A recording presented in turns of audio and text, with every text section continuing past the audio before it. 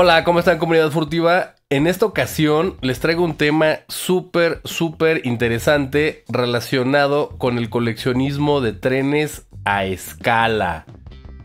Recordemos que este tipo de coleccionismo o coleccionables estuvieron súper, súper difundidos con nuestros abuelos y padres. Yo creo que más que nada con los abuelos. Son los que normalmente compraban todo este tipo de coleccionables. Por eso les traigo el video. Trenes Lionel.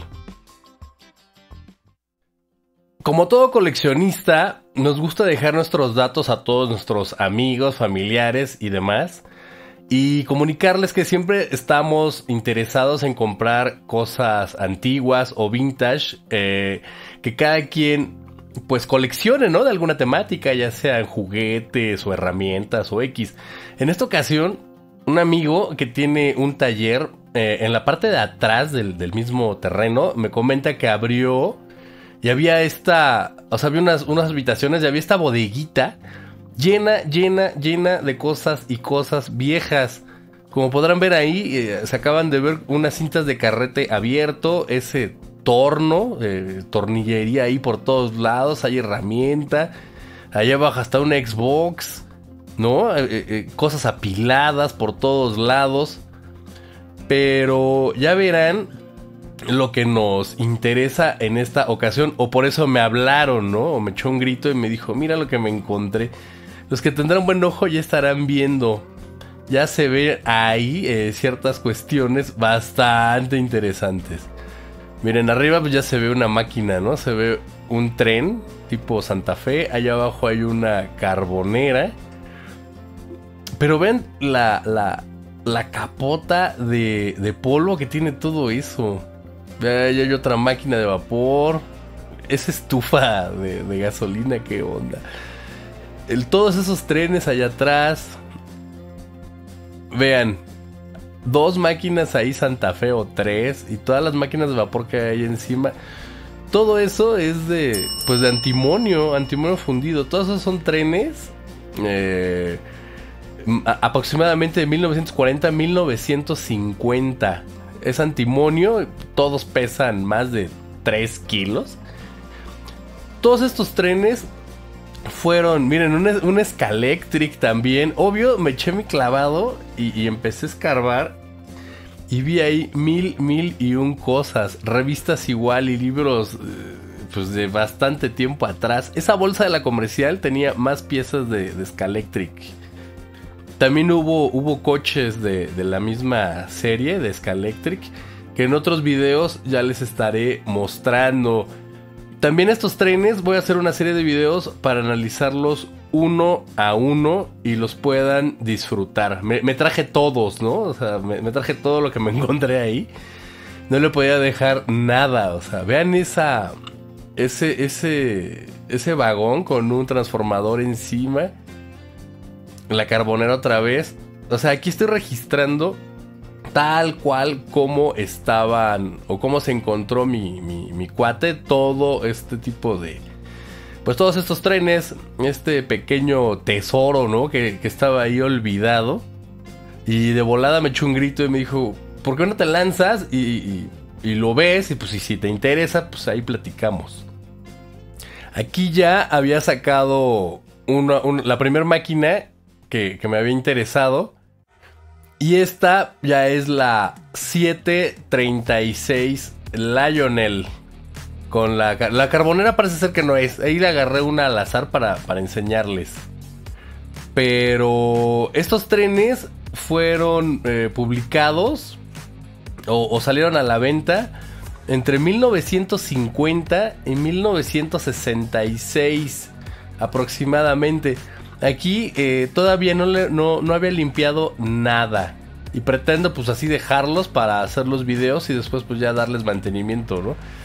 Pero quería enseñarles cómo venían en la condición en las que en la que aparecieron. Así estaba esto. Ahí no le he pasado nada, nada, ni una brocha, nada.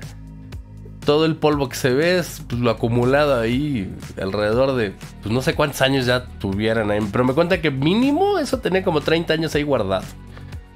Vean el detalle de la carbonera y la muela. La, la carbonera es plástico, un plástico pues bastante duro y me atrevería a decir que hasta frágil. Miren ahí como tiene como moho. O sea, esto no ha tenido mantenimiento en años, en décadas. Esa máquina 736, les digo, es de 1950. Bueno, publicada entre el 50 y el 66. Tiene un peso aproximado de 3 kilos y medio. Eh, la, la máquina cuenta con un sistema para sacar humo. Ahí donde se ve la, la, la, tobera esa. Ahí lleva un tipo de... como unas pastillas que se le meten y empieza a salir humo. Son máquinas Lionel hechas en Estados Unidos, en Nueva York, en la década de los 50s y 60s. Vean cómo se hacían las cosas antes, ¿no? O sea, todo, todo, todo eh, de antimonio. O sea, metal eh, fundido en, en, moldes, ¿no? Ahora ya te los encuentras, pero pues todos son de plástico. No pesa nada, ¿no? Pero vean el nivel de detalle que tiene eso. Aquí sigo viendo tomas. Después, este. Ya me puse a investigar más a fondo sobre pues cuánto podría costar esto, si tiene eh, precio de reventa o si me lo voy a quedar o qué voy a hacer con ello. Pero mientras, pues disfrútenla, ¿no? Vean el, foquito, ¿no? Ahora ya todo es LED. Y miren, ahí tiene como un foco de... Parece como de, calavera de coche, ¿no? De, de un stop. De un coche. Eh, para todos los que ya estén más eh, y digamos involucrados, que sean expertos en la materia o por lo menos que tengan más datos que yo. Mm, yo apenas estoy viendo qué onda con esto de los trenes Lionel. Eh, he investigado ciertas cosas en internet, pero como en todas las materias, seguramente tú que me estás viendo, eh, pues ya le mueves durísimo a esto de los trenes y, y en algunos no sé, en los 80s, 70s, 80s, esto era súper, súper, súper famoso, ¿no? Muy distribuido. Yo me acuerdo que en Perisur, en los 80s, ¿no? Cuando ya saben, uno iba ahí, ahí con los papás y demás. Arriba había una tienda de, de modelismo y trenes. No sé si algunos de ustedes se acuerden. En el Perisur de aquí de la Ciudad de México.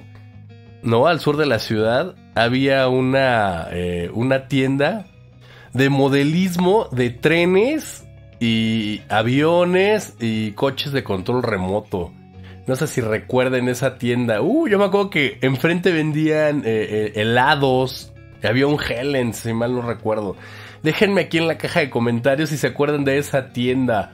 Pero yo me acuerdo que había una super maqueta, así una cosa brutal de, de trenes de escala H0. Y también la, la, la cero. Y había otra más grande que no recuerdo la nomenclatura. Que eran trenes ya así chonchos, como de 50 centímetros de largo, ¿no? Por unos 25 centímetros de alto. Sí recuerdo que eran bastante grandes y también se vendían ahí. Otra vez les comento, si tú sabes más respecto a estos trenes, eh, porfa hazme un comentario ahí eh, ayudándonos a entender más sobre este hobby. Yo por el momento me voy a echar el clavado y me voy a súper, súper documentar de toda esta onda. Eh, y por mientras, pues lo único que he encontrado es eh, en páginas de, de, eBay donde se están vendiendo. También me habían dicho que en el... Hay un tianguis, se llama Tianguis del Arte o Tianguis del Arte eh, donde venden mucho este tipo de trenes y la gente que los compra y los comercializa, pues ya, ya son personas de más de 70, 80 años, porque les comento, este hobby es como de los años 50 y hasta más, ¿no? Eh, he llegado a ver eh, trenes de estos Lionel de 1920. Pero parece ser que este hobby está muy, muy difundido ya con la gente ya mayor. Y bueno, y también hay jóvenes entusiastas que le están entrando a esta onda, ¿no? Pues véanme a mí, ¿no? Y me dijeron, güey, tengo unos trenes, lánzate. Y aquí estoy haciendo esto. Pues bueno, eh, esto era lo, que les quería mostrar. Voy a seguir haciendo una serie de videos mostrándoles eh, cada uno de todos de los trenes y de los vagones que me encontré aquí en esta cacería, eh, diría el buen Mad Hunter. Y uno a uno les voy a ir comentando lo que, pues lo, nuevo que he ido descubriendo respecto a estos trenes y cómo ha ido su, su restauración porque hay talleres especializados en este tipo de hobbies donde tú lo puedes llevar y te los dejan nuevos, ¿no? O sea, los desarman con sumo cuidado, gente experta que ya sabe cómo van armados y demás. Les dan mantenimiento a todos los motores, tienen la pintura exacta, porque no se pintan con cualquier cosa, lo puedes echar a perder. Eh, y te lo dejan nuevo, nuevo y te dan un certificado de que se les dio ahí el mantenimiento adecuado. Pues bueno, te dejo con estas imágenes y estamos eh, al pendiente en la caja de comentarios por si alguien ve qué onda con estos trenes y nos puede ayudar a, entender más respecto de los mismos. Y pues bueno, yo con esto me despido. Yo soy el antagonista. Te mando un súper, súper abrazo. Abajo te dejo eh, los links para mis redes sociales y mi enlace a PayPal y Patreon por si quieres ser mecenas de este proyecto. Pues bueno, cuídense y hasta la próxima. Adiós.